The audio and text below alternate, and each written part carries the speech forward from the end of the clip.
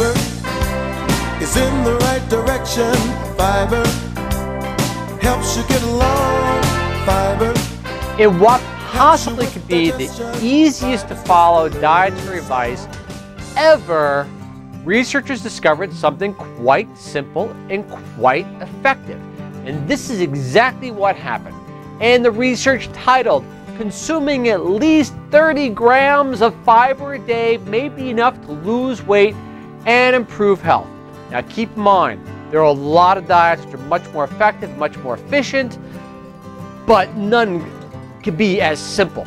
And this could be as simple as just eating a few extra bran muffins per day. But I digress and let's proceed forward. In the citation title called Single Component versus Multi-Component Dietary Goals for the Metabolic Syndrome A Randomized Trial. That's the title which you can use at parties to impress your friends. Published in the Annals of Internal Medicine this February 2015. And this is what they did. They took the American Heart Association diet and basically used volunteers, about 240 volunteers. They split up into obviously appropriate groups and they followed them for about 12 months.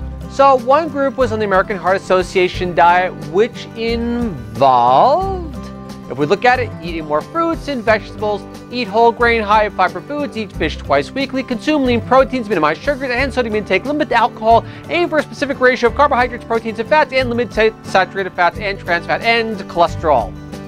So they had one group do that, get it? And one group eat 30 grams of fiber a day.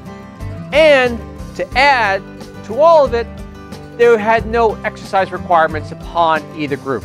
Now, albeit the American Heart Association diet lost a few extra pounds at the end of 12 months, the fiber diet did pretty darn good also, which is surprising because usually when someone's an adult, they begin gaining weight.